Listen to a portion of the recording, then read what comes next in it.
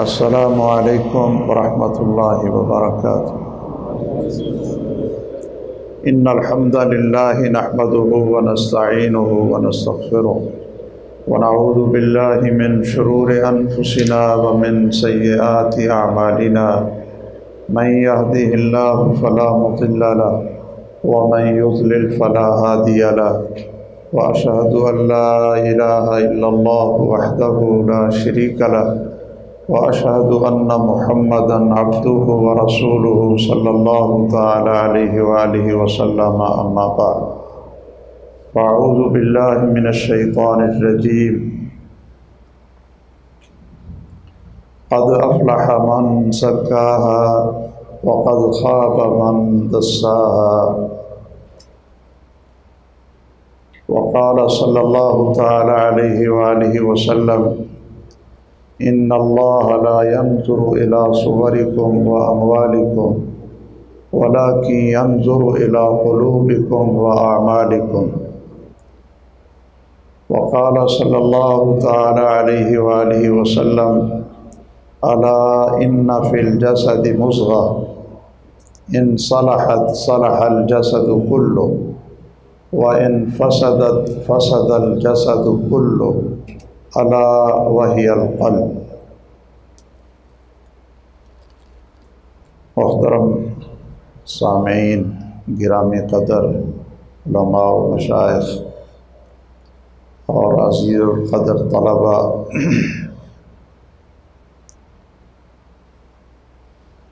ये बात अच्छी तरह हम सबको समझ लेनी चाहिए कि इंसान की कामयाबी का दारोमदार और नाकामी का दारोमदार वो नफ्स पर है। अगर इसलाह नफ्स हो जाए, तजकिया नफ्स हो जाए तो यकीनन वो सआदतमंद है, कामयाब है, मुबारक है। और अगर उसकी अंदर की असलाह ना हो सके, उसका दिल खूबसूरत ना बन सके और उसका दिल कल्ब सलीम ना बन सके तो फिर उसकी बदबख्ती और शकावत और नाकामी ये उसके लिए मुकद्दर है। इसलिए जिस तरह जिसम बीमार होता है, जो इंसानी जिसम है, ये बीमार हो जाता है। और कुछ बीमारियाँ बहुत मोहलिक होती हैं और बहुत नुकसानदेह होती हैं कुछ बीमारियाँ हल्की होती हैं। इसी तरह दिल भी बीमार होता है। और बाद उसकी बीमारियाँ वो बड़ी मोहलिक होती और बड़ी कातिल होती और बाज़ बीमारियाँ उनसे हल्की होती।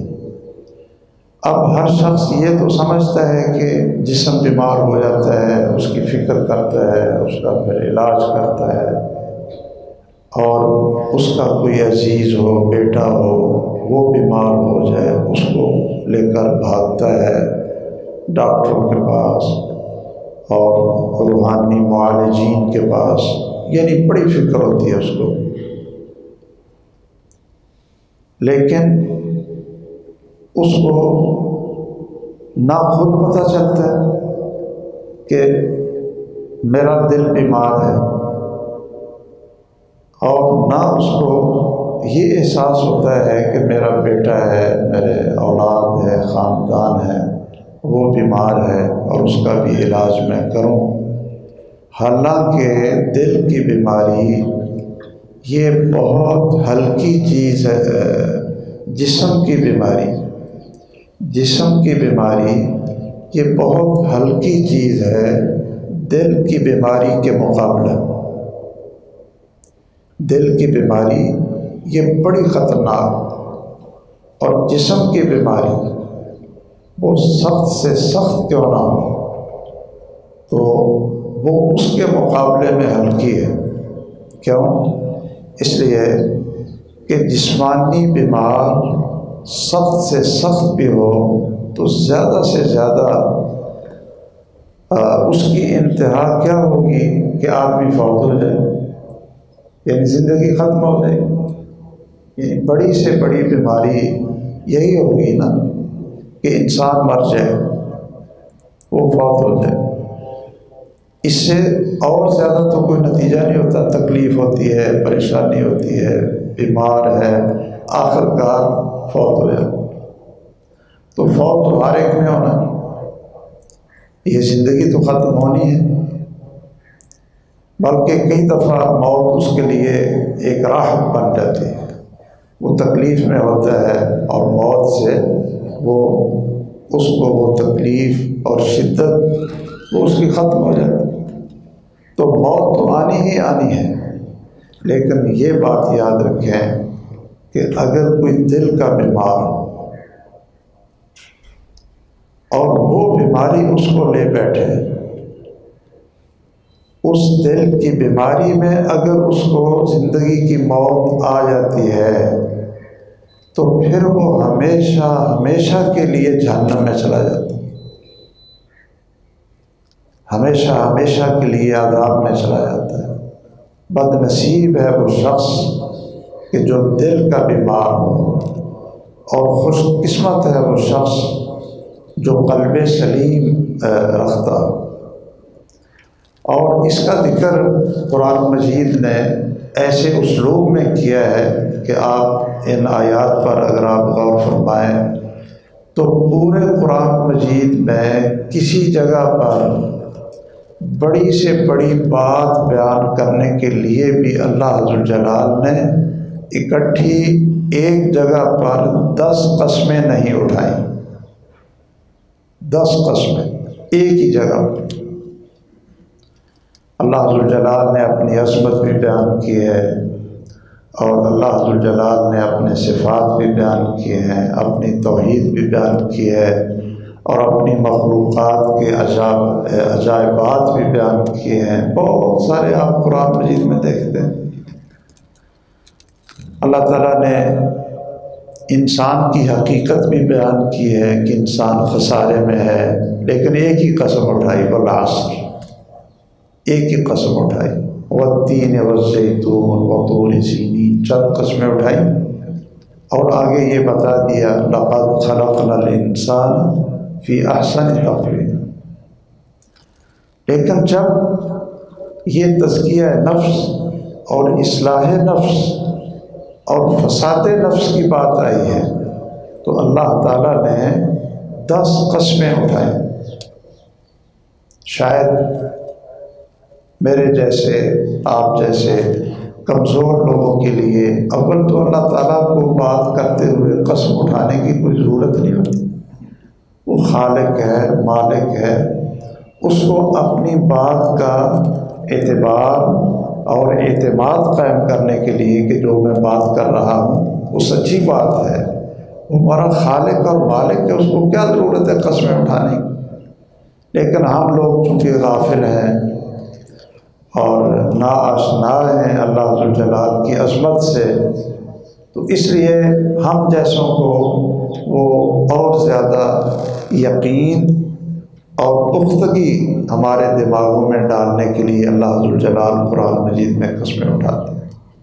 और हक़ को वाज करने के लिए और उनको आ, उनकी मिसाल सामने रखने के लिए प्रैक्टिकल सामने रखने के लिए अल्लाह जलाल बसात कस्में उठाते हैं, कई मकासद हैं।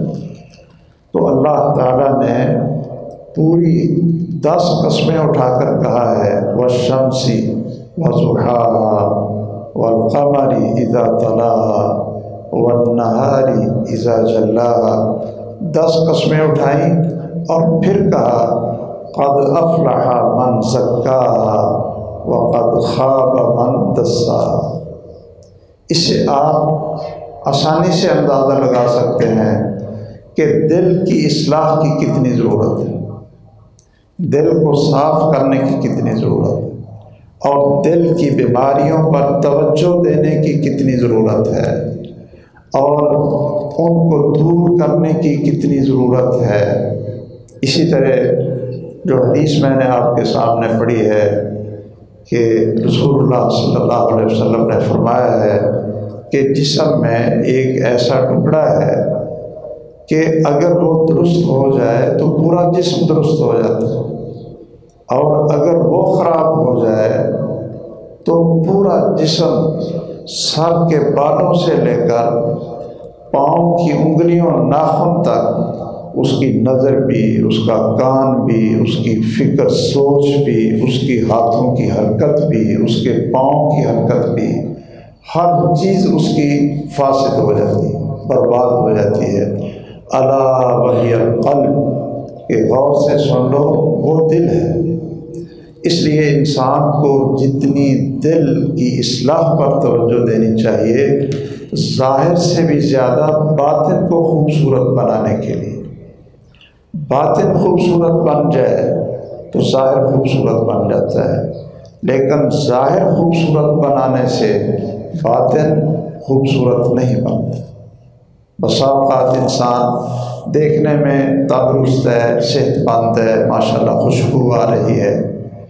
है जी, उसने शैम्पू लगाई है, उसने बड़ी बाहर से कीमती कीमती उसने खुशबू मंगा कर लगवाई है। लेकिन हकीकत में वो क्या है? नजस, गंदा इंसान। बैतुल्ला में दाखिल नहीं हो सकता। देखने में बहुत खूबसूरत, ज़ाहिर बहुत बड़ा अच्छा लेकिन उसका अंदर पलीद अंदर बीमार, नापाक है वो शख्स। तो ये दिल की असलाह इसकी जितनी ज़रूरत है बातन से भी ज़्यादा ये इस पर हम सबको तवज्जो देनी चाहिए और फिर हमें ये भी देखना चाहिए, जो एक और सही मुस्लिम की हदीस मैंने आपको सुनाई कि रसूलुल्लाह सल्लल्लाहु अलैहि वसल्लम ने फरमाया इन अल्लाह कि अल्लाह की नज़र तुम्हारी शक्लों सूरतों पर नहीं होती, तुम्हारे माल और दौलत की कसरत पर नहीं होती। अल्लाह ने तुम्हारा एक मैार बनाना है ना? ऊँचे दर्जे का अच्छा इंसान, खूबसूरत इंसान, कामयाब इंसान। तो आपको कामयाबी के सर्टिफिकेट देने देने के लिए, अपनी मोहब्बत देने के लिए अल्लाह ताला इंसान को महबूब बनाता है ना जी? और ये ये एक बहुत बड़ा दर्ज है कि जो खालिक है, खालिक, अल्लाह जलाल है, हमारा मालिक है, जिसने हमें पैदा किया, सारी नेमतें दी तो वो क्या चाहते हैं कि बंदे से मोहब्बत करें? बंदे को अपना महबूब बना लें। अल्लाह अकबर। सबसे बड़ा शर्फ इंसान का क्या होता है कि वो अल्लाह का महबूब बन जाए। अब अल्लाह ने अपनी मोहब्बत के लिए जो चुनना है तो क्या देखना है? हम भी अगर किसी से मोहब्बत कायम करना चाहते हैं तो हम भी देखते हैं कि चलो ज़रा खाता पीता हो, इसके अखलाक अच्छे हों और ज़ाहरी खूबसूरत हो। और इसकी ये सिफात हों, ये सिफात हों तो हम, हमें भी उससे मोहब्बत हो जाती है। एक इंसान का मोहब्बत का मैार। लेकिन अल्लाह जलाल का मोहब्बत का मैार क्या है? तो अल्लाह ताला मोहब्बत के लिए, उस इंसान को चुनने के लिए, अपना महबूब बनाने के लिए, उसकी शक्ल नहीं देखते इसलिए कि शक्ल तो अल्लाह ने बनाई, वो तो उसने खुद बनाई। और ना ही उसकी माल और दौलत की कसरत देखते हैं कि भाई इसके पास दौलत कितनी है। इसलिए भी अल्लाह ताला उससे मोहब्बत नहीं करते हैं। इसलिए नहीं देखते हैं कि इसके पास माल कितना है। माल किसने दिया है? वो भी अल्लाह ने दिया सैदना बिलाल रज़ी अल्लाह तु की कोई शक्ल देखकर अल्लाह ने उसको अपना महबूब बनाया।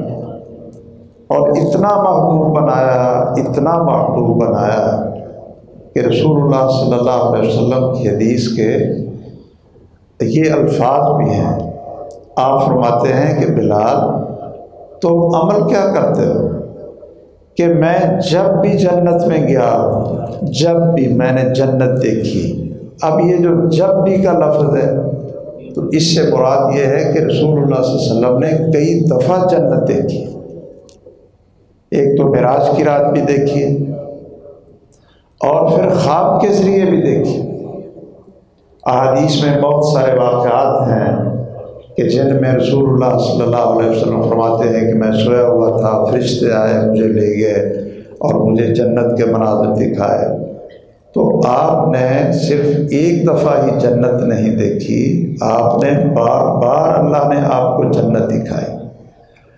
तो रसूलुल्लाह सल्लल्लाहु अलैहि वसल्लम ने सैदना बिलाल से पूछा कि बिलाल, मैं जब भी गया हूँ, जब भी जन्नत में गया हूँ तो वहाँ मैंने आपके चलने की आठ वहाँ मैंने सुनी। तो आप अमल क्या करते हो? इतना अल्लाह का कुर्ब, इतनी अल्लाह की मोहब्बत कि जब मैं जन्नत में गया तो आपके चलने की आवाज़ अपने आगे सुनी।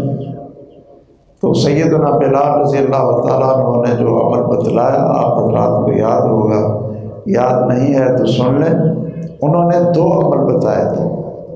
कितने बताए थे? दो अमल बताए थे। एक अमल उन्होंने कहा कि जब भी मैं बेवजू होता हूँ जब मेरा वज़ू ख़त्म होता है तो मैं उसी वक्त वज़ू कर लेता हूँ। एक अमल ये था। और दूसरा कि जब वज़ू करता हूँ तो दो रकत नमाज़ पढ़ लेता हूँ। तो उम्मीद है कि आप इसको याद रखें कि जब बेवज़ू होता हूँ तो मैं वज़ू कर लेता हूँ।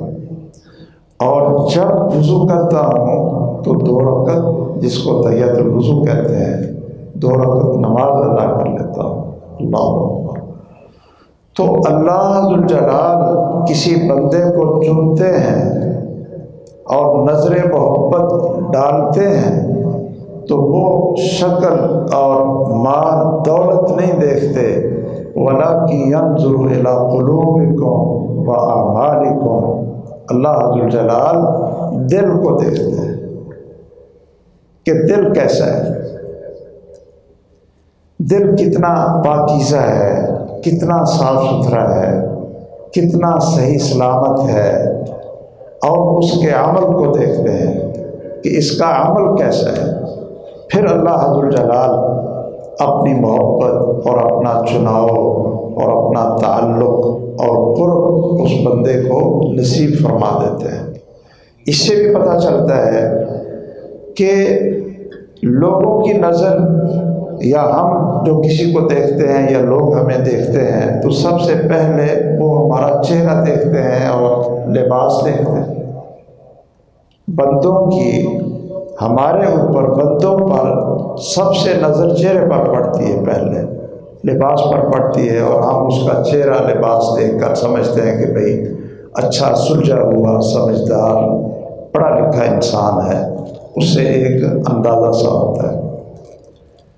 तो चूँकि बंदे हमारा चेहरा पहले देखते हैं, जब आप कमरे से निकलते हैं तो आप सबसे ज़्यादा आईना के सामने किस चीज़ को संभालते हैं? जी? चेहरे देखते हैं ना? अच्छी तरह देखते हैं कि भाई कोई चीज़ ना लगी हो, बाल सीधे हों, बिखरे बुखरे ना हों, और कई हमारे आप शगिर्द कह लें, स्टूडेंट कह लें, वो उन्होंने दरवाजे के साथ लटकाया होता है, शीशा भी और ये कंगा भी कि भाई कमरे से निकलें, जब निकलें तो पहले एक दफ़ा देख लें और अपने बालों को सीधा सुधा कर लें। क्यों? कि निकलेंगे, जो देखेगा, पहले चेहरा ही देखेगा। कपड़े इस्त्री कर लें। जी, जो देखेगा, पहले चेहरा देखेगा, कपड़े देखेगा। इसलिए हम अपने चेहरे को खूबसूरत बनाते हैं और भी कई कुछ लगाते हैं। है जी? तो अल्लाह जिस चीज़ को सबसे पहले देखते हैं, जहाँ अल्लाह की नज़र है तो उसको भी खूबसूरत बनाना चाहिए कि नहीं? जहाँ बंदों की नज़र है, वो हम खूबसूरत बनाते हैं। हालाँकि अगर एक को आप ना भी पसंद है तो वो क्या कर लेगा आपको? क्यों भाई? अगर एक आदमी वो समझता है कि भाई इसने कोई चेहरा भी नहीं धोया या इसने कोई क्रीम नहीं लगाई तो ना भी उसको पसंद आए तो क्या कर ले? लेकिन अल्लाह की पसंद वो तो इंसान की ज़िंदगी और मौत का मसला है। उसकी हिलाकत और नजात का मसला उसकी नाकामी और कामयाबी का मैार है कि अल्लाह ने देखा है दिल और अल्लाह को पसंद आया है या नहीं आया। अल्लाह जलाल ने अमल देखा है, उसको पसंद आया है कि नहीं आया। अगर हमारा दिल अल्लाह को पसंद ना आए तो इससे बड़ी तबाही और बर्बादी कोई नहीं। और अगर हमारा दिल अल्लाह ने देखा और अल्लाह को पसंद आ गया तो इससे बड़ी शहादत बरकत और कामयाबी कोई नहीं है। इसलिए मैं तमाम सामीन और नाजरीन से ये सबसे पहले गुजारिश करूँगा कि दिल की असलाह ये सबसे पहला फ़र्ज़ है और तस्किया नफ्स ये कामयाबी और नाकामी की बुनियाद है। इसलिए ज़ाहिर से, हर चीज़ से ज़्यादा इसकी तरफ़ हमें तवज्जो देनी चाहिए। अब हम ज़रा इसी मौजू के दूसरे हिस्से की तरफ़ लौटते हैं कि जिस्म की बीमारियाँ तो हम जानते हैं दिल की बीमारियाँ कौन सी हैं? नफ्स की बीमारियाँ कौन सी हैं? और फिर उन बीमारियों का इलाज कैसे है? भाई, हमें पता होगा कि वो बीमार है तो कोई दवाई खाएगा ना। अगर हम समझते हैं, जी, मैं तंदुरुस्त हूँ तो मैं और आप दवाई क्यों खाएँ? तो क्या कोई बीमारी है भी जो हमारे दिल के अंदर मौजूद है? और वो क्या है ताकि हम फिर उसका इलाज करें और जब इलाज हो जाए तो फिर उसकी अलामत और उसके असरात ज़िंदगी के ऊपर क्या होते हैं, ये तीन चीज़ें मैं इन इख्तसार से ज़िक्र करके अपनी बात को ख़त्म करता हूँ। कि दिल की बीमारियाँ क्या है? जिसम की बीमारियों का सबको पता है, हर शख्स को पता है। बुखार हो जाता है, नज़ला हो जाता है, जिगर ख़राब हो जाता है जी, ज़ख्म आ जाता है। और भी बहुत सारी बीमारियाँ हैं जो हर शख्स उसको पहचानता है।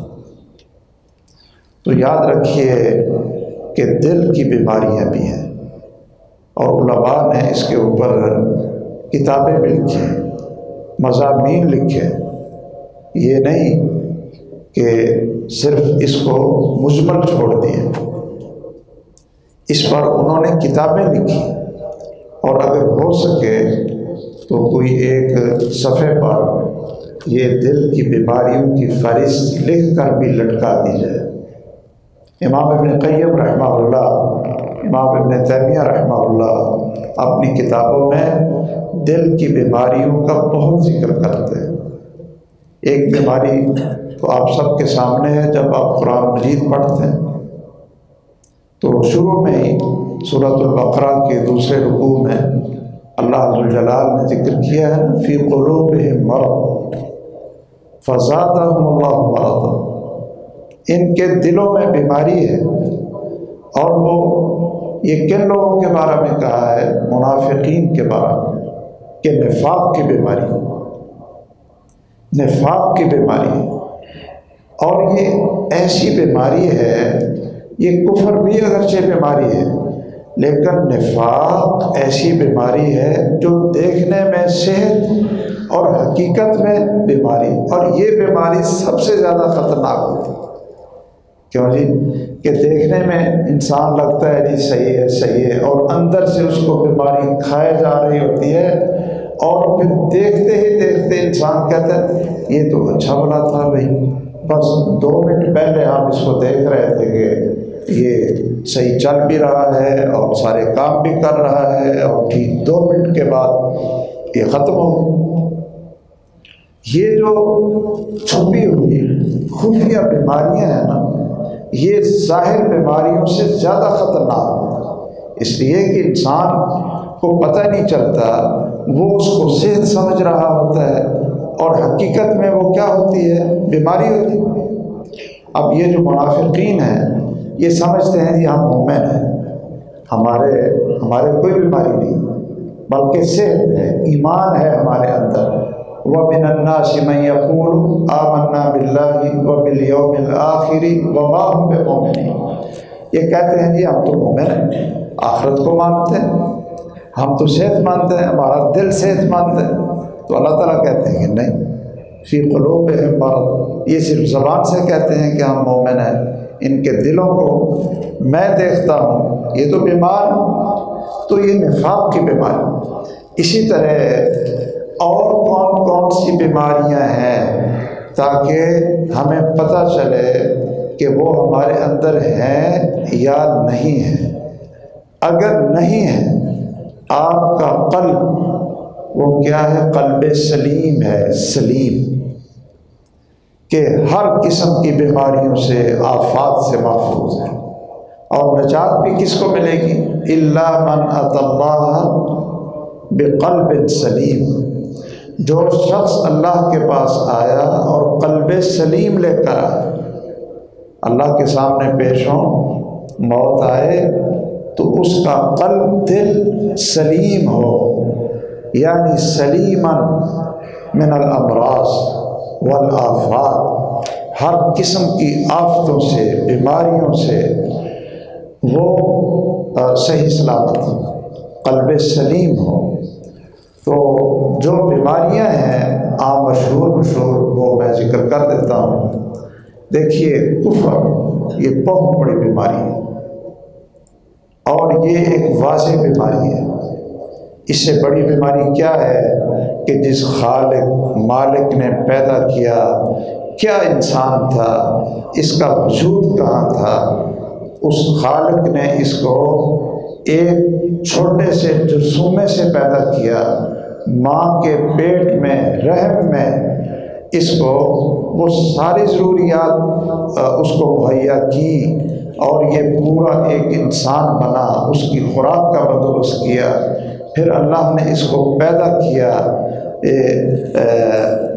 ज़िंदगी में इसको निकाला और फिर उस वक्त जैसे जैसे इसकी ज़रूरियात थी इसकी जिस्म की कमज़ोरी के आ, साथ साथ वो गज़ा का बंदोबस्त किया और फिर ये चलता है फिरता है फिर थोड़ा सा बड़ा होता है तो जब इसको थोड़ी सी अकल आती है थोड़ी सी सोच आती है तो कहते हैं, कौन है खुदा? मैं तो खुद ब खुद ही पैदा हो गया। फिर ये कहता है, कौन है मुझे जो मारने के बाद ज़िंदा करने वाला है? अवलम इंसान अन्ना फ़इज़ा हुवा खसीम मुबीन खल्क़ा फिर ये अल्लाह से झगड़ने लग जाता जिसने पैदा किया, जिसने ज़बान दी, जिसने कुत गुयाई दी, तुझे बोलना दिया सारी नेमतें तुझे दी, ज़बान तुझे दे दी। तो अब ये अल्लाह से झगड़ रहा है कि तू कहता है, मैंने पैदा किया है। कोई तूने पैदा नहीं किया, कौन है तू? अल्लाह को पहचान पहचानते ये कितनी बड़ी बीमारी है, कुफर। इनकार कर देना अपने खालिक और मालिक का, उसकी नेमतों का। और आ, ये कुफर एक बीमारी है बहुत बड़ी बीमारी और बड़ी बहुत बीमारी इसी तरह निफाक वो मैंने इशारा कर दिया है कि कहना कुछ और दिल में कुछ ये भी हम अंदाज़ा लगा सकते हैं कि हमारे अंदर ये किस सतह की बीमारी है कि हम कहते कुछ हैं अल्लाह से मोहब्बत का, वफादारी का, अल्लाह के रसूल सल्लल्लाहु अलैहि वसल्लम से कुरान मजीद के साथ, कुरान मजीद की एक एक आयत के ऊपर हम कुर्बान होने के लिए तैयार होते हैं। हरमत रसूल पर ज़बान से कट मरने के लिए हम तैयार होते हैं। हम हम, हमारे दावे कितने हैं? हम ये भी कहते हैं कि दीन कामिल है और दीन वो हमारा जबता ज़िंदगी है। और ये भी हम कहते हैं कि कुरान मजीद की एक एक आयत हक और सच, इससे बड़ी सच्चाई को और साथ साथ हम ये भी कहते रहते हैं कि झूठ के बगैर कारोबार नहीं चलता। क्यों जी? ये मुसलमान ही कहते हैं। ये निफाक नहीं तो और क्या? कि अल्लाह की आयात पर शक है, इनकार है। अल्लाह के रसूल सल्लल्लाहु अलैहि वसल्लम फरमाते हैं कि कारोबार में बरकत होती है, सच बोलने से और उस चीज़ का ऐब वाजे करने से। जो चीज़ आप बेच रहे हैं, जो चीज़ आप बेच रहे हैं, उसमें अगर नक्स है तो क्या करो? वो नक्स गाहक को, ख़रीदने वाले को बताओ। उसके मुताबिक रेट बने। कि भाई इतना इसके अंदर नक्स है। अब रसूलुल्लाह ने फरमाया है कि अगर तुम बेचने वाली चीज़ का नक्स बता दोगे और सच बोलोगे तो बरकत होगी। आपका कारोबार चलेगा। और अगर इन कतबा, अगर उसको छुपाओगे नक्स को छुपाओगे और झूठ बोलोगे तो महकत बरकत बेहमा तो फिर बरकत नहीं होगी उसको अल्लाह उठा नहीं तो आज मुझे कुछ ताजर बताए ना आप, जो माशाल्लाह मुसलमान तजारत कर रहे हैं, और दिल भी बड़ा पक्का ईमान वाला है, निफाक नहीं है, और वो ये समझता है कि जी, मैं इस तरह तजारत करूँगा तो उसके अंदर बरकत होगी। कोई आप नाम ले सकते हैं मुसलमानों इल्ला माशा कोई खुश नसीब ऐसा होगा। जिसको अल्लाह ने यह खूबी दी है कि वो बताए कि भाई मेरी गाड़ी में ये आ, आ, ये नक्श है। इसलिए मैं इसका रेट कम कर लेता हूँ।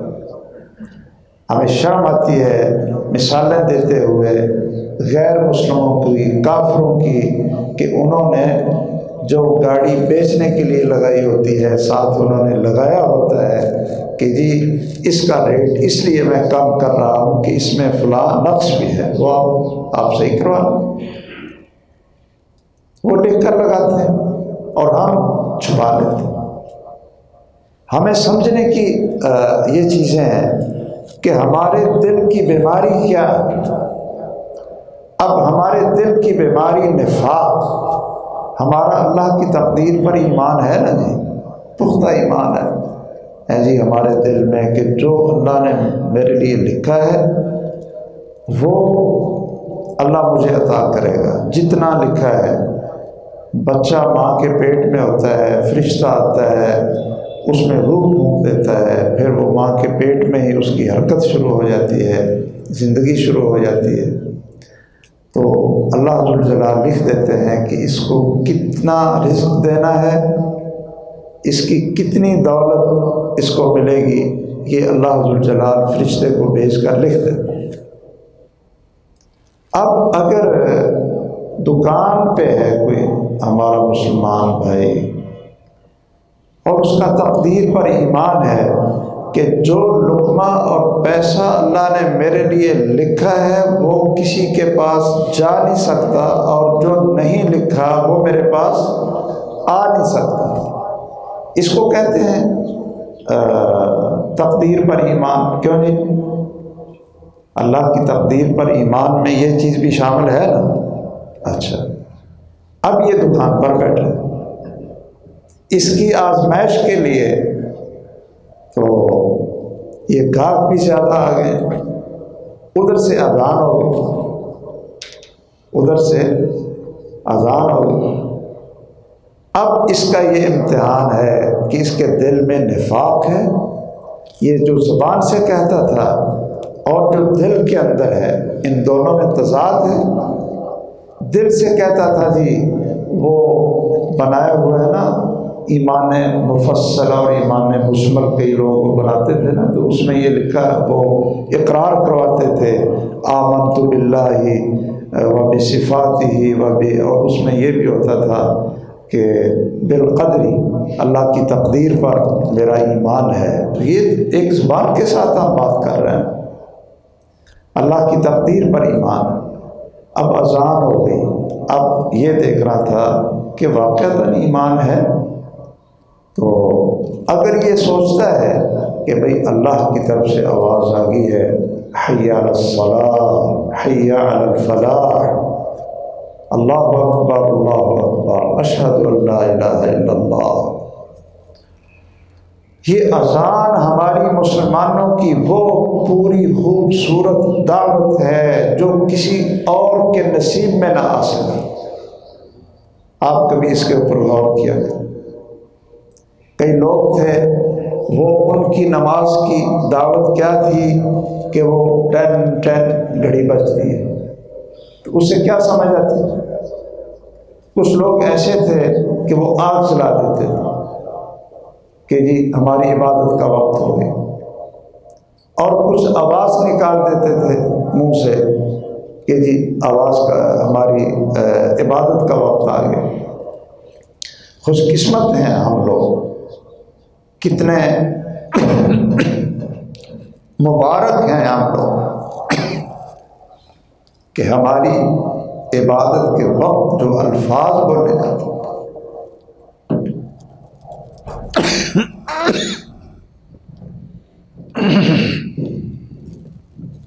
वो कहाँ से शुरू होते हैं? अल्लाह अकबर अल्लाह अकबर। अशहद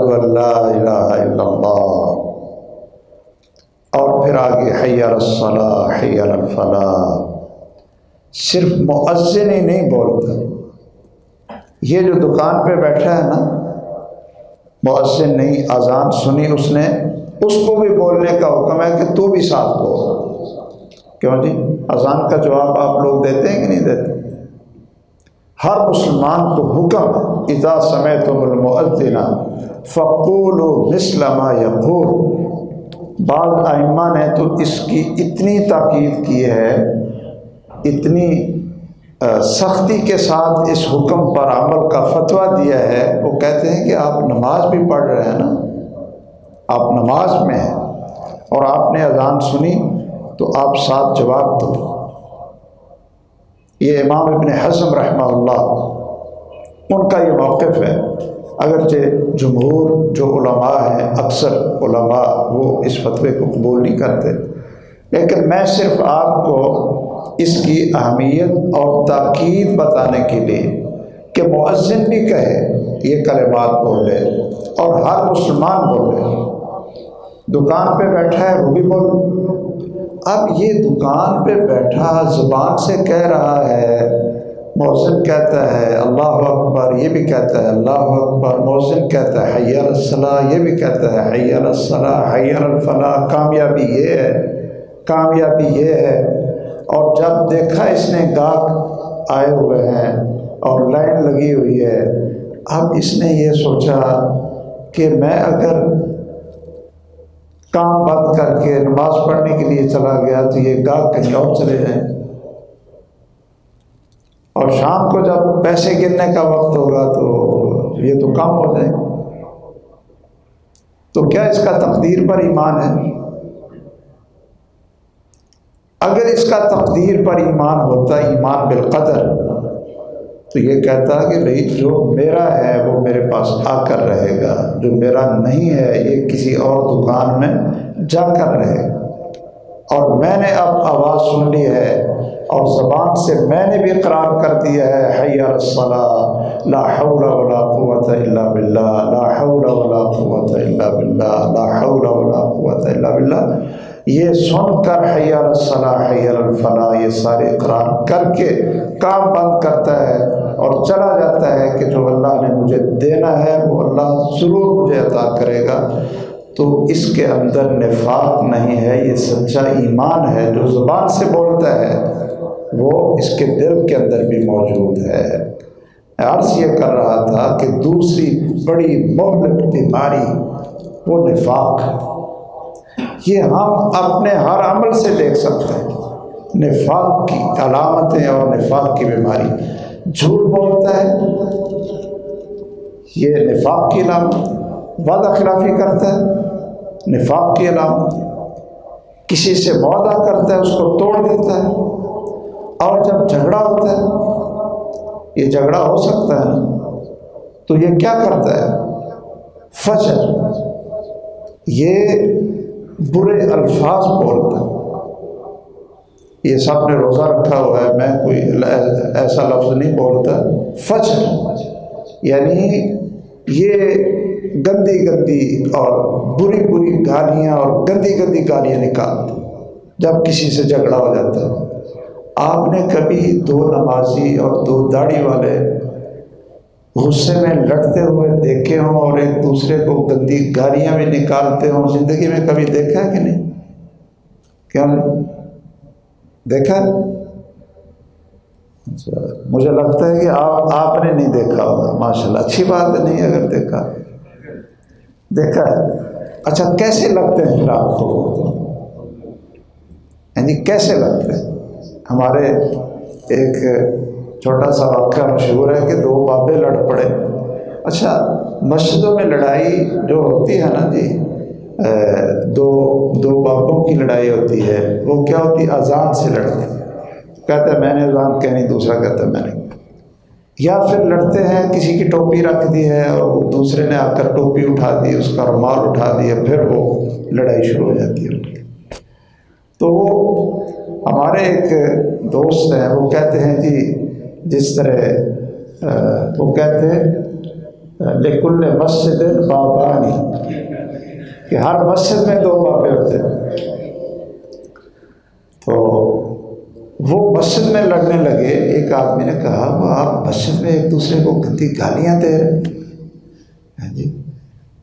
तो आप मस्जिद के अंदर गंदी गालियाँ दे रहे हैं। लड़ना बाहर चले तो वो आगे से माशाल्लाह फरमाने लगे कि लड़ाई तो हमारी मस्जिद में हो रही तो गालियाँ हम बाहर जा कर दें। गालियाँ भी तो मशर नहीं देनी ये है इज़ा खासमा फशर कि ठीक है नाराज़गी हो जाती है, झगड़ा हो जाता है, लेकिन उसके भी कोई आदाब होता है उसका भी कोई अखलाक होता है एक मोमेंट तो नफाक ये एक बहुत बड़ी बीमारी है। इसी तरह शक शक रैब जिसे कहते हैं ये दिल की बीमारी है। और मैं इसकी तफसील में नहीं जाता वक्त कम है।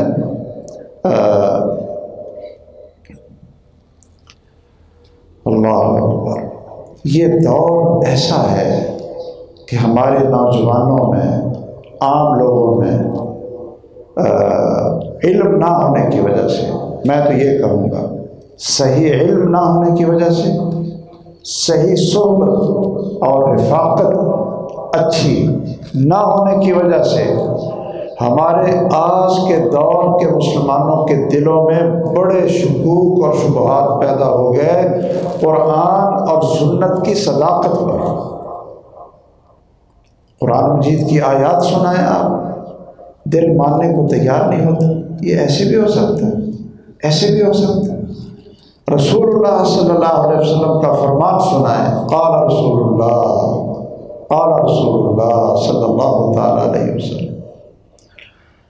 जिनको दुनिया अमीन माने, जो नबूवत से पहले भी सच्चे और नबूवत के बाद तो उनकी हर बात वो अल्लाह की बात है। ला यखरुमिन हो हक। हम उनकी बातों को तोलें अपनी अकल पर और अपने दिल की आ, समझ पर तोले कि जी आपने ये कहा है ये हो सकता है कि नहीं हो सकता है कैसे हो सकता है? रसूल वसल्लम ने ये फरमाया है तो कैसे हो सकता है? सही बुखारी की हदीस है और दिल मानने के लिए तैयार नहीं। कुछ मुनकरीन हदीस हैं उनके अपने शुभात मोजात के मुनकर हैं। कि मोजात कैसे हो सकता है? मोजा जिसको हम खार के आदत कहते हैं। वो खिलाफ अकल नहीं होता। खार के आदत ज़रूर होता है। जो आम आदत से और आम मामूल से हटकर वो मोजा होता है। लेकिन अकल के ख़िलाफ़ नहीं होता। अगर अकल सही हो, बीमार ना हो जितने मोजात हैं, वो अक्ल के ख़िलाफ़ नहीं है। अच्छा ये बताइए कि अल्लाह जलाल ने आदम आसमाम को पैदा किया, कैसे पैदा किया? जिस तरह आम इंसान पैदा होता है, इस तरह पैदा किया था? नहीं। तो क्या हम मानते हैं कि अल्लाह जलाल ने अपने दोनों हाथों से साठ हाथ से दो नजरान सात साठ हाथ का एक ढांचा बनाए और आज़ा बनाए, खूबसूरत आज़ा बनाए और फिर उसके अंदर रूह फूक दी और सिद्दोना जरान के जिस इंसान की लंबाई साठ हाथ थी, वो उठकर चलता फिरता वो शुरू हो गया। और फिर अकेला था तो अल्लाह ने जोड़ा बनाना था तो वो अल्लाह जलाल ने उसे के जिसम से अल्लाह जलाल ने उनका जोड़ा सैदा हवा को पैदा कर दिया। ये चीज़ खार के आदत तो शायद, यानी हमारी जो आदत हैं कि भाई हमारे यहाँ तो पहले मियाँ बीवी हैं और फिर नौ माह में वो बच्चा पैदा होता है, फिर उसकी विलादत होती है, फिर वो छोटा होता है, फिर वो बड़ा होता है, फिर उसका पाँच फुट छः फुट उसका कद बनता है, वो फिर बोलता है, फिर ऐसे होता है। और ये साठ हाथ का इंसान अल्लाह जलाल ने बना दिया। ये कई लोग ऐसे हैं जो कहते हैं, नहीं नहीं जी ऐसे नहीं हुआ। पहले पत्थर थे, पहले वो कुछ और चीज़ थी, वो फिर ऐसा बनते बनते ये फिर इंसान बनने शुरू हो गए। कहाँ से आदम है, कहाँ से अब्बा है? और कहाँ से ईसा इस्लाम को अल्लाह ताला ने बगैर खामद के पैदा कर दिया? सैदा मरियम, वो बच्चा की विलादत वो बच्चे को लेकर आई और उनकी कौम ने कहा लकत शैन फरी कि मरियम ये कहाँ से ले आई हो तेरी तो शादी को नहीं खामद को नहीं तो अल्लाह जलाल ने फिर कुरान मजीद में ये मिसालें दी कि अगर तुम आदम इस्लाम को मानते हो है जी तो फिर हज़रत ईसा इस्लाम को भी मान लो ये सिर्फ़ अपनी ढकौसलों से कुरान और सुन्नत के ऊपर शकूक और शुबहात, ये दिल की बीमारी है। ये दिल की बीमारी है। हमें यकीन ना आए कि अमाल का वज़न होगा। हम कहते हैं, कैसे होगा वज़न? कैसे वज़न हो? हमें यकीन ना आए कि क़्यामत के दिन कुरान मजीद बोलेगा। अब हम पढ़ते हैं तो कुरान बोलते हैं क़्यामत के दिन बोले अल्लाह से झगड़ेगा। अल्लाह से झगड़ेगा कुरान मजीद रोज़ा, ये बहुत है। लेकिन क्यामत के दिन रोज़ा क्या कहेगा? रोज़ा बोले, हमारा इन चीज़ों पर यकीन है या नहीं है? तो कुरान मजीद की हर आयत पर यकीन, हमारे अकल में आए या ना आए? हम कहें समय ना वाता ना। आमन्ना व सदकना ये मोमिन का काम है। और हर हदीस रसूलुल्लाह सल्लल्लाहु अलैहि वसल्लम की, सही बुखारी की, सही मुस्लिम की, जिसको मुहदसिन ने सही कहा है। आप उसको भी सुने तो कभी अपनी अक्ल को सामने ना लाया करें कि जी मैं पहले अक्ल से पूछूँ, इसको मानती है कि नहीं मानती। मैं पहले अपने मौलवी साहब से पूछूँ मैं पहले अपने इमाम से पूछूँ कि ये रसूलुल्लाह की हदीस तो है, बुखारी की है तो इसको मैं मानूं कि ना मानूं? मैंने माननी है कि नहीं माननी है? ये शक और निफाक और तरद की ये बीमारी दिलों के अंदर इतनी मज़बूत है कि आप अहदीस सुनाते जाएँ, मानने के लिए तैयार। कहते हैं जी, चलो, हम पूछेंगे हम पूछेंगे। रसूलुल्लाह की बात मानने के लिए किसी से पूछें? इसकी सिर्फ़ एक मिसाल देकर मैं आगे चलता हूँ। अगर आप इन वाज हो जाएगी और इन आज के बाद आप जब भी सुने कि अल्लाह ने फरमाया और जब भी सुने कि रसूलुल्लाह ने फरमाया, उसी वक्त कहें समय ना व अताना। आपने फरमाया, हमने मान ली ये नहीं कि हम पहले जी हमें हमें टाइम दो टाइम दो, कि हम गौर करेंगे। और अल्लाह के बंदो टाइम लिया जाता है किसी इंसान की बात पर। कोई आपका साथी आपको, कोई आकर काम कहता है, आप कहते हैं, मुझे टाइम दे, मैं ज़रा सोच लूँ। गौर फ़िक्र कर लूँ कि मैं कर सकता हूँ या नहीं कर सकता हूँ। आपकी बात मान सकता हूँ या नहीं मान सकता हूँ। इंसान की बात पर आप टाइम ले सकते हैं। अल्लाह की बात पर आपने टाइम लेना है कि मैं सोचता हूँ जी। और रसूलुल्लाह की बात पर आपने टाइम लेना है कि मुझे ज़रा गौर फक्र करने के लिए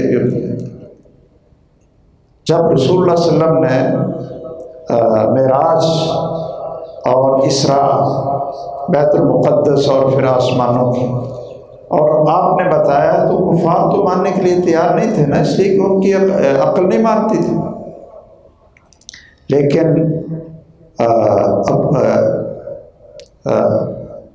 रसूल अकरम सल्लल्लाहु अलैहि वसल्लम मस्जिद में थे, बैतुल हराम में।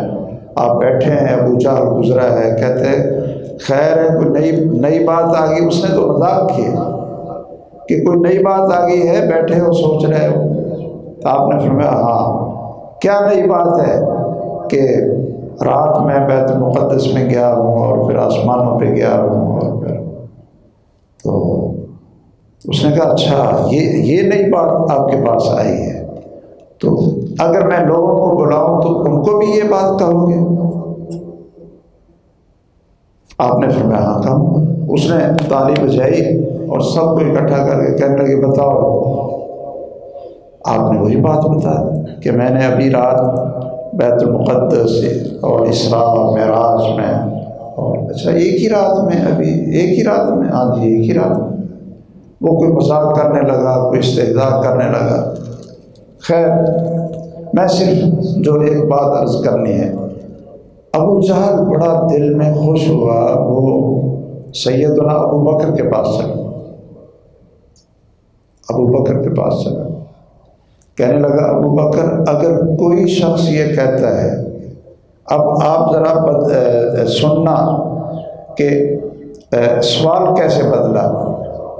कोई शख्स ये कहता है कि मैं रात के इस हिस्से में बैतुलमुक़दस गया हूँ और आसमानों पे गया हूँ तो वो कहने लगे, आसमानों की मुसाफत का तो हमें भी नहीं पता, कभी गए नहीं। तो बैतुलमुक़दस का पता है कि एक महीना पूरा जाने पे लगता है, आने पे लगता है तो ये कैसे हो सकता है? ये बात सही नहीं है, गलत है ये बात। वो दिल में खुश हुआ कि आज अबू बकर को फंसा लिए क्यों जी? फंसा लिए तो फिर उसने नाम ले दिए उसने कहा कि आपके दोस्त हैं, साथी हैं मोहम्मद सल्लल्लाहु अलैहि वसल्लम, उन्होंने ये बात की है। तो फिर जवाब क्या था? क्यों नहीं? ये जवाब क्यों बदला? पहले सवाल ये था कि अगर कोई शख्स ये कहे तो जवाब और था। अब क्या है कि आपके साथी मोहम्मद सल्लल्लाहु अलैहि वसल्लम ने कहा तो फिर जवाब क्या? कहने लगे हाँ अगर उन्होंने कहा फिर सही।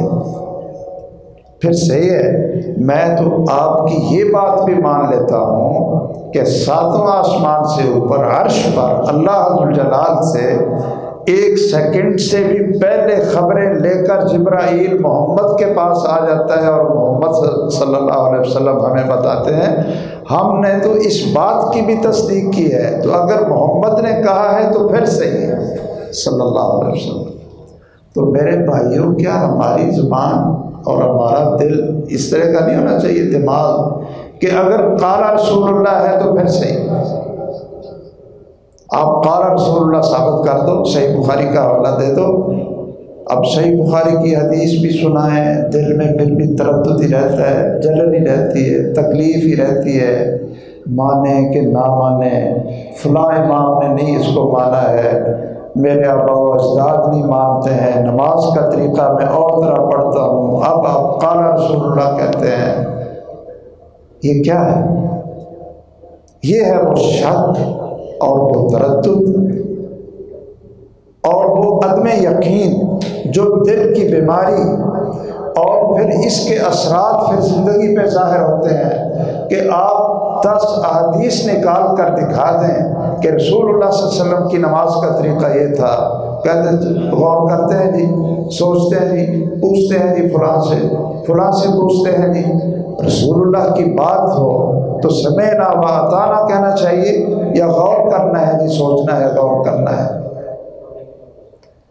दिल की बीमारियों में बुग्स मुसलमान के बारे में बुग्स रखो हसद नफरत, तहकीर, उजब। ये ऐसी बीमारियाँ हैं, उजब। ये उजब की बीमारी आमतौर पर पता किन लोगों में होती है? या तो मालदारों में होती है, या उलमा में होती है। नेक लोगों में होती है। उजब। वो नेक आदमी समझता है कि जितना मैं नेक तो ये तो सारे सारे ऐसे बेकार ही हैं मैं बड़ा नेक कोई आलिम है, अल्लाह ने उसको थोड़ा बहुत इल्म दिया है वो अपने इलम के ऊपर बड़ा गुरूर और बड़ा उसको उजब और अपने आप को वो समझता है कि मैं ही आलिम हूँ, बाकी सारे के सारे तो ऐसे कितनी बड़ी बीमारी है। नेक लोग अपने आप को, आलिम लोग अपने आप को, मालदार अपने आप को समझता है कि जितना मैं बड़ा हूँ तो ये सारे फ़कीर और कम माल ये तो सारे आ, ये कुछ भी नहीं। अब अल्लाह के यहाँ कदर किसकी है? क्यों भाई अल्लाह के यहाँ कदर किसकी थी? उजब की बीमारी ने हकीकत है हमारे अच्छे भले एक नौजवान है और कुछ मुताला कर लिया। उलमा के पास बैठने का मौका नहीं मिला, सफ़र में नहीं बैठा और कुछ चीज़ की मालूम हो गई, बोलता अच्छा है। अब वो कहते हैं शेख हदीस क्या होता है फला आदमी जिसने पचास साल सही बुखारी पढ़ाई है और सारी ज़िंदगी उसकी काल अल्लाह काल रसूल सुनाते, उसकी गुजर गई है और ये उठकर कहता है शेख हदीस क्या होता है मुफ्ती क्या होता है जी? मेरी बात सुनो। जो मैं कह रहा हूँ यही वो है जो जब्राइल लेकर अभी अभी आया है। बाकी सारे गलत हैं। जो मैं बोल रहा हूँ, यही सही है। ये वो है तबादु तबद्दो उजब ये वो बीमारी है जिसके बारे में रसूलुल्लाह वसल्लम ने फरमाया, मोहलिकात मोहले ये बर्बाद करने वाली बीमारी है और ये होती दिल में है। वो समझता अपने आप को ये है कि जितना बड़ा मैं स्कॉलर हूँ, जितने लोग मेरी बात सुनते हैं, शेखुल हदीस की तो बीस आदमी बात नहीं सुनते, मैं ज़्यादा आलिम हूँ या ये ज़्यादा आलिम? वो फिर मुफ्ती भी बन जाता है माशा मुफ्ती बन जाता है, फतवे देने शुरू कर देता है, हराम को हलाल बनाना शुरू कर देता है और हलाल को हराम बनाना शुरू कर देता है। मैंने ऐसे बदनसीब भी देखे, आँखों से देखे। एक थोड़ी सी चीज़ें लेकर कर ले आया तो कहने लगा, जी, आप सब ये देखें, ये मैंने कहा ये क्या है? क्या है? तो कहते हैं, जी, ये मैंने शेख अलबानी रहमा की किताब से मैंने ना, जो गलतियाँ निकाली हैं, वो मैंने जमा की हैं इसके अंदर तो ये ज़रा आप इसको देखें, इसकी नज़रसानी करें। तो मैंने उससे ज़रा इलम के बारे में पूछा कि आपने पढ़ा क्या है मुताला कितना किया है कितना लिखा है क्या आपकी रिसर्च है अरबी पढ़नी आती है? तो कहता नहीं अरबी तो मैं मदरसे में तो नहीं पढ़ा मैंने कहा अगर आपको अरबी पढ़नी अच्छी आती है तो अभी आ, ये ज़रा एक सफ़ा पढ़े ना तो पता चल जाएगा ना कि आपका इलम क्या अब शैतान ने उसको कहाँ पहुँचा है कि वो शेख अलबानी की गलतियाँ निकाल रहा है। रहमा जो अपने दौर के मुजद थे। मैं ये नहीं कहता कि शेख अलबानी रहमा से गलती हुई नहीं। मैं तो ये आपसे अर्ज़ कर रहा हूँ कि गलतियाँ निकालने वाला कौन? क्यों जी? शेख अलबानी रहमा की गलती अपने बास निकालें तो ठीक है। वो शेख अपने बास रहमा की कोई ख़ता शेख अलबानी कहें तो ठीक है। शेख मोहम्मद बिन सालसैमीन की गलती कोई शेख बिन बास कहें तो समझ आती है ना? और मैं दुकान पे सौदा बेचते बेचते और चंद उर्दू की किताबें पढ़कर मैं भी गलतियाँ निकालनी शुरू कर दूँ और जो है ना फरिस्त बना लूँ तो इसको उजब और तमादुर मियाँ मिठो मैं ये वो शैतानी सिफ्त है, मैं वाली। तीन अल्फाज हैं, तीन अल्फाज। वो भी दिल की बीमारी में है। जो आपसे मेरे कैम रहमा ने लिखे हैं, तीन अल्फाज हैं। तो मेरे भाइयों और मेरे बुज़ुर्ग, मेरे अपने अजीज़ों, इनसे बचना आपने इन तीन अल्फाज से। एक लफ्ज़ है, अना।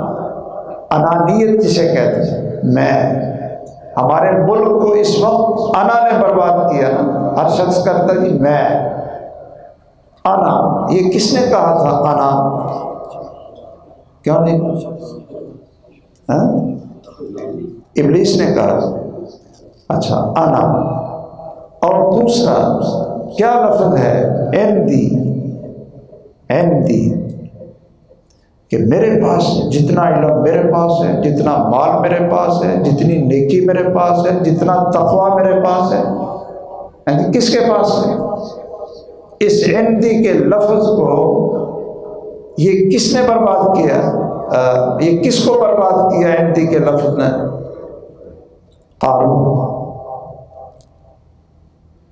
ऊती तो हुआ इल्मन एंदी वो कहने लगा, ये जितने ख़जाने हैं ना, ये जितने ख़जाने हैं, ये तो मेरी सलाहियत थी मेरे पास इन थी, मेरे पास इलम था, तजर्बा था सलाहियत थी मेरे पास, इसलिए ये दौलत मेरे पास आई।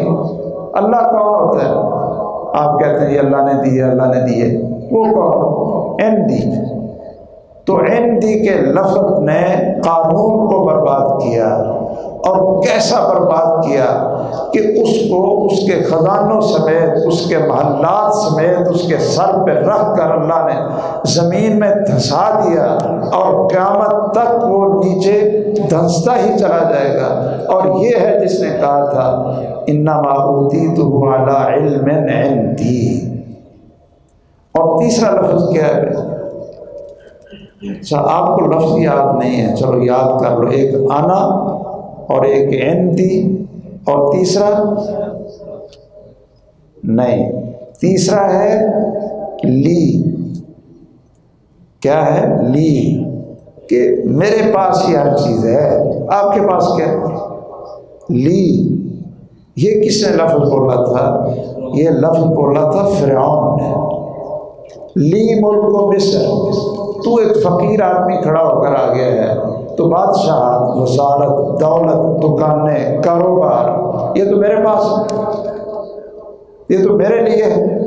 ये नहरें और ये बड़े बड़े बागात, ये सारे के सारे मेरे ली तो इन लफ्ज़ों से बचें। ये उजब की बीमारी, मियाँ मिठू की बीमारी, ये बीमारी होती है कि इंसान कहीं हर मेरी तारीफ़ करे। क्यों जी और बड़ा खुश हो इस बात से कि मेरी तारीफ़ करें। लोग मेरी तारीफ़ करें। अच्छा भाई, आप किस बात से किसी की तारीफ़ ना निकले? कैसा बदबख्त इंसान? कि लोग सारे मेरी तारीफ़ करें।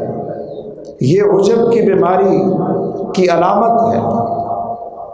इसी तरह हसद है, कीना है बुग्ज है, अपने भाई से नफरत है, तहकीर है, तहकीर वो आपने हदीस सुनी है ना? बड़ी मशहूर हदीस है। उलमा आपको सुनाते रहते हैं कि रसूलुल्लाह वसल्लम ने एक शख्स को तीन दिन जन्नत की बशारत दी। तीन दिन। आप बैठे हैं, एक शख्स आ रहा है, आप फरमाते हैं, जन्नती दूसरा दिन, फिर आप बैठे हैं, एक शख्स आ रहा था। तो आपने फरमाया जन्नती है तीसरे दिन, फिर कहा, जन्नती अब्दुल्ला बिन आमर बिन आस। क्या नाम है? अब्दुल्ला बिन आमर बिन आस रज़ी अल्लाह ये कहते हैं कि मैं ना उसके पीछे चल पड़ा कि आदमी कौन है और तीन दिन मुसलसल रसूल वसल्लम ने इसको जन्नत की बशारत दी है। तो वो उनके घर चले गए। कहने लगे, जी, मैं आपके पास रहना मेरे बाप के साथ भी बात हो गई है तो मैं आपके पास रहना चाहता हूँ। उन्होंने कहा, आओ जी, भतीजा, आओ तशरीफ़ रखें। तीन दिन रहे, रात को इबादत भी देखी तहजद भी, रोज़ा भी, नफल और भी बड़े नेकी के काम। तीसरे दिन के बाद सलाम लिया और चलने लगे।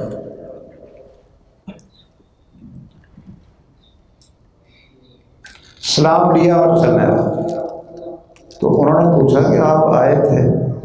तो कोई बात, कोई ज़रूरत, कोई चीज़ आपने ज़िक्र नहीं की। उन्होंने कहा, बस पैसे में आया था। तो उन्होंने कहा, नहीं बताया आप कुछ, कोई ज़रूरत की बात है? कहने लगे, आपको रसूल ने तीन दिन मुसलसल जन्नत की बशारत दी थी। तो मैं देखने आया था कि पता नहीं कितनी इबादत हो कितनी ये ताजुद पढ़ता होगा, कितने नफर रोज़े रखता होगा, कितना कुरान पढ़ता होगा, हर वक्त मुसल्ले पे बैठा रहता होगा। इसलिए आपने जन्नत की बशारत दी। वो कहने लगे कि आपने देख तो लिया है। क्या देखा आपने? कहते हैं, जी, मैंने तो आम ही देखा है। बस नमाज़ के टाइम आप मेरे साथ आ जाते हैं। बाकी आप रात को सोए रहते हैं, कोई नफर रोज़े का भी अहतमाम को नहीं है। कहने लगे कि मैं ऐसा ही हूँ जैसे आपने मुझे देखा। है लेकिन एक बात मैं आपको बता देता हूँ कि मेरे दिल में किसी मुसलमान के बारे में कोई मैल, कुचैल, हसद बुगज कीना, ये मेरे दिल में नहीं है।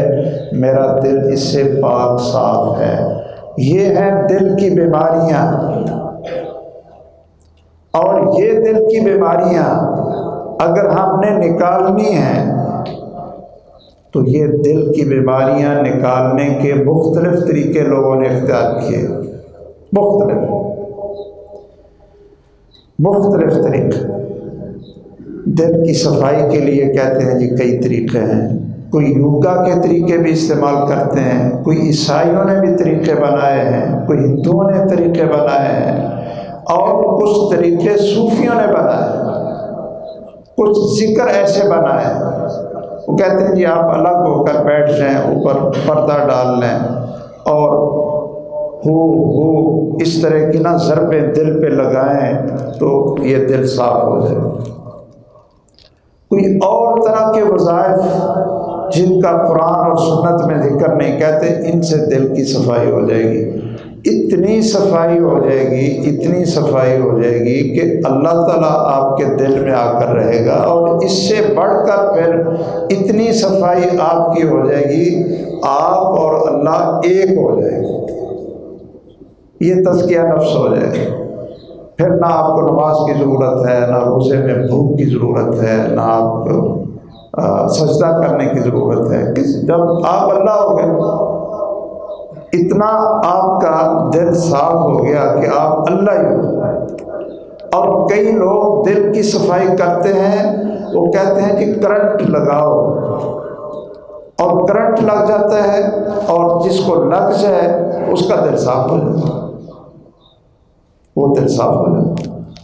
तो ये सारे शैतानी तरीके हैं और गुमराह कौन तरीका है। अल्लाह ताला और उसके रसूल की तालीमत के ख़िलाफ़ तरीका फितरत के ख़िलाफ़ हिदायत के ख़िलाफ़ है। अल्लाह इस उम्मत को इन शैतानी वसवसों और शैतानी तरीक़ों से बचाकर, जो अल्लाह के रसूल सल्लल्लाहु अलैहि वसल्लम ने तज़किया नफ्स के तरीके बताए हैं, अल्लाह ताला हमें उसके ऊपर लाए। और वो क्या है कि दिल को आपने साफ़ करना है तो सबसे पहले खालिक और मालिक की पहचान और मोहब्बत अपने दिल में पैदा करें। उसकी पहचान पैदा करें कि अल्लाह क्या है। दिल की सफ़ाई होती है अल्लाह की मारिफत से, अल्लाह की मोहब्बत से, और अल्लाह की मोहब्बत ये पैदा होती है अल्लाह की पहचान से। और अल्लाह की पहचान किससे होती है? अल्लाह के असमा और अल्लाह की सिफात से पैदा होती है।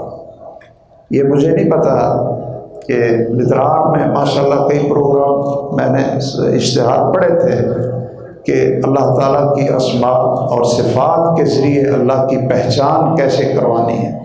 आप इसके ऊपर एक तो रखें प्रोग्राम।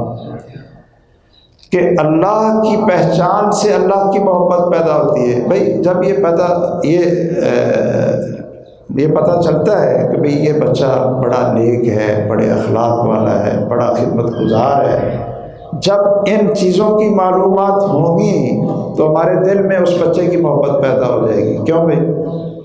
ये माशाल्लाह कुरान का हाफिज है, ये कुरान का कारी है, इसका अखलाक बड़ा अच्छा है, और ये तरावी पढ़ाता है, लोगों को अदीस सुनाता है। जब ये मालूम मिलेंगी तो हमारे दिल में उस बच्चे की मोहब्बत पैदा हो जाएगी।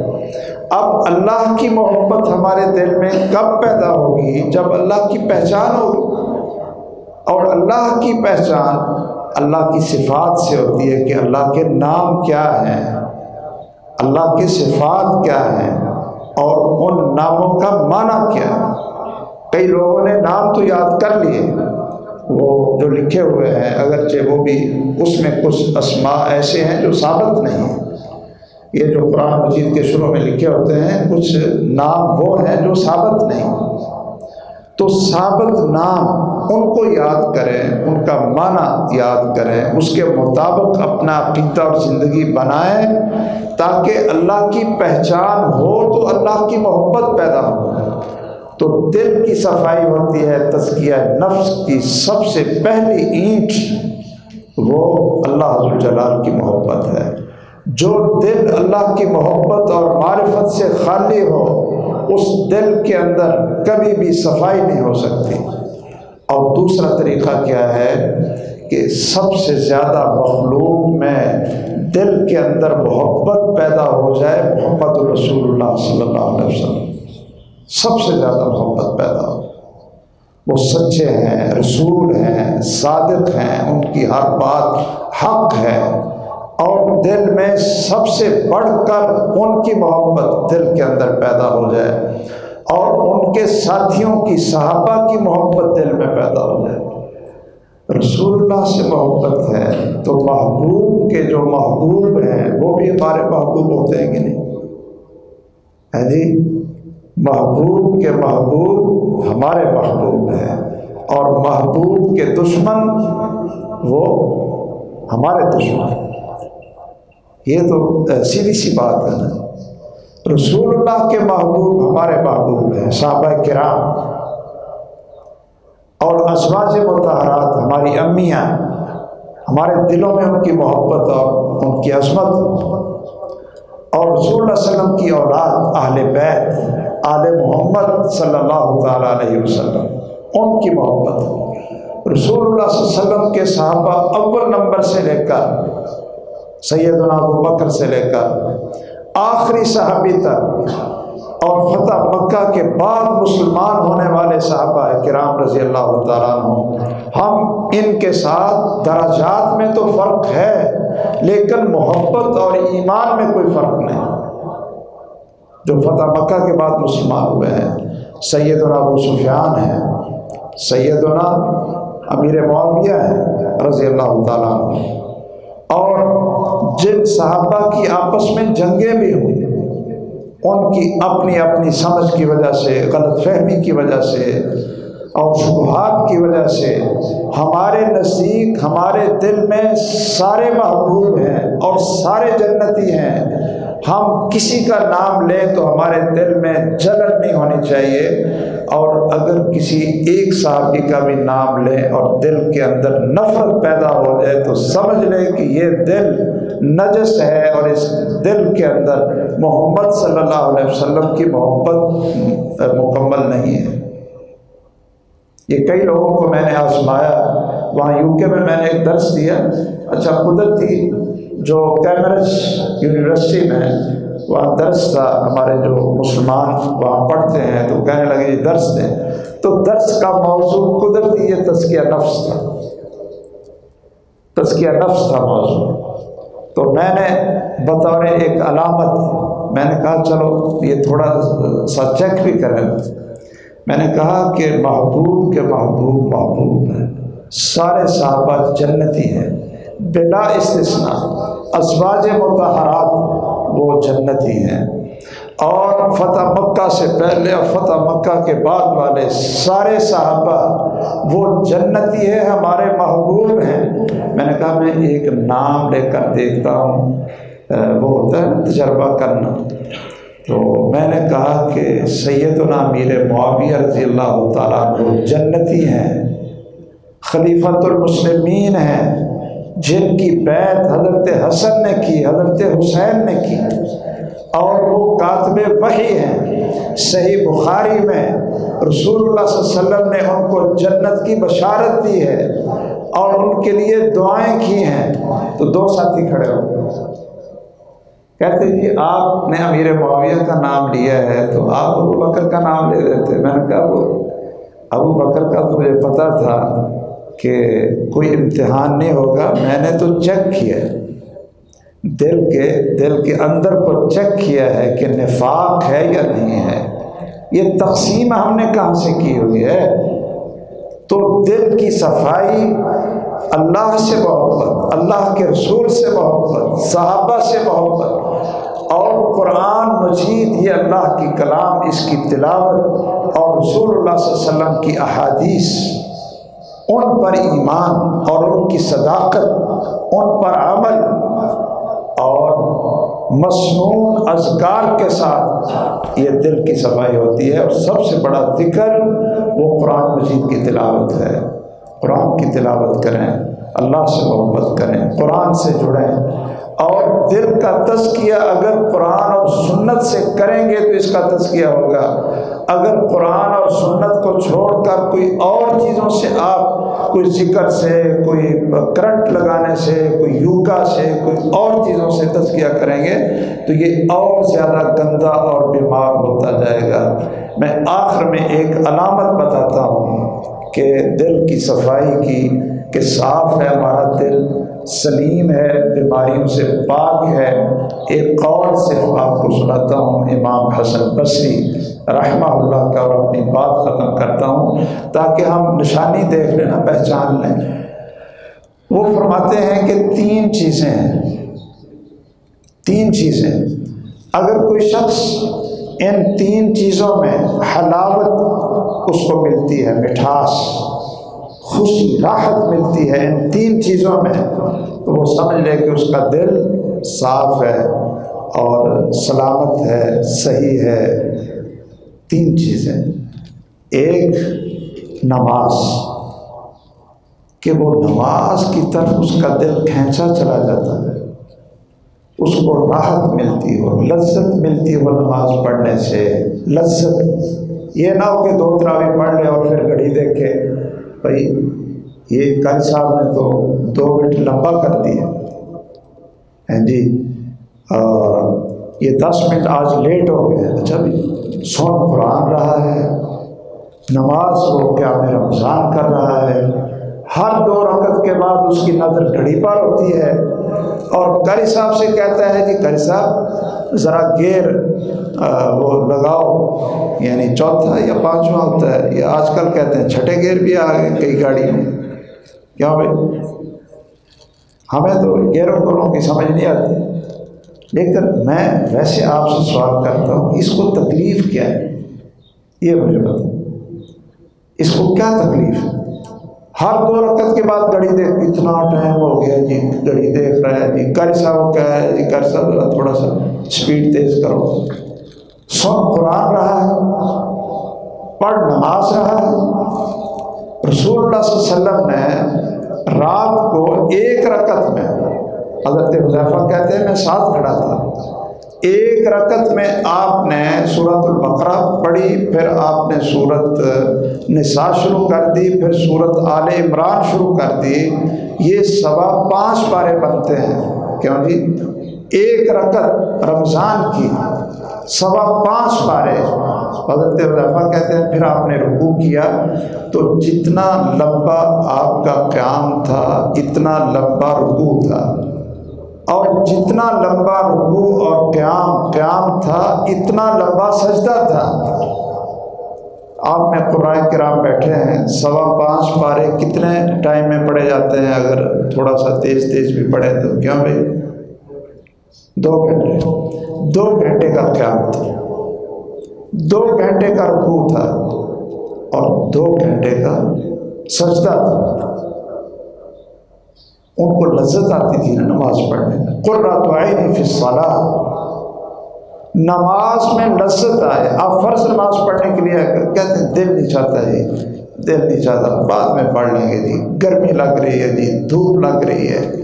समझ लें कि दिल बीमार भी है और निफाक भी है। तो सबसे पहली चीज़, निशानी देख लें। कि नमाज़ में लज्जत और राहत है या कराहत और नफरत और तंगी है? दूसरी चीज़ तिलावत कुरान। कुरान की तिलावत ये इमाम हसन बसरी रहमा ने ये सारा खुलासा निकाला। कुरान की तिलावत।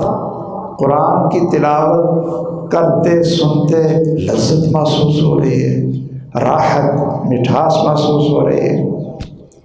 और तीसरी चीज़, अब दुआ। कि आप दुआ करते हैं तो दिल ही नहीं चाहता कि हाथ नीचे करें। मांगते ही जाएँ, बातें करते ही जाएँ, करते ही जाएँ। भाई, अपने दोस्तों से कहते हैं ना गप शप लगा लें, दो घंटे, चलो, आज वो फारग हैं, आज वो गप शप लगा लें। अल्लाह से दुआ में मुराजात कर रहे हैं, बातें कर रहे हैं। अपने दुख और परेशानियाँ, वो अल्लाह से शेयर कर रहे हैं जो खालिक और मालिक है, मुश्किल कुशा है तो दुआ में अगर लज्जत और राहत आए, इन तीन चीज़ों में तो वो फरमाते हैं फ़ाफजू हो फलसमू हो कि इसको अच्छी तरह पकड़ लो। ये ईमान है और ये दिल की सलामती है। और फरमाते हैं, अगर इन तीन चीज़ों में लज्जत ना आए इन तीन चीज़ों में लज्जत ना आए तो फिर समझ लो कि तुम्हारी शकावत और बर्बादी का कोई रास्ता वो बंद नहीं है। बल्कि फ़ैन्ना अबवाब खैर अबवाब खैर कुल्लहा मुगलका, कि नेकी और अच्छाई के सारे दरवाजे आपके ऊपर बंद हैं गलत फहमी में ना रहें। अल्लाह जलाल हमारे दिलों की असलाह कर दे, हमारे दिलों की सफ़ाई कर दे, नेकी का शौक़ अल्लाह ताला हमारे अंदर पैदा कर दे, इबादत में, नमाज़ में, लज्जत और राहत नसीब फरमा दे। क्या मेरा रमज़ान है, रोज़े हैं, तिलावत कुरान है, नवाफिल हैं, इनके अंदर अल्लाह हमारा शौक़ बढ़ा दे, लज्जत पैदा कर दे। आमीन। वाखरुदावान अलहमदिल्ला सुबहानकल्लाहुम्मा व बिहम्दिका अशहदु अल्ला इलाहा इल्ला अंता अस्तगफिरुका व अतूबु इलैक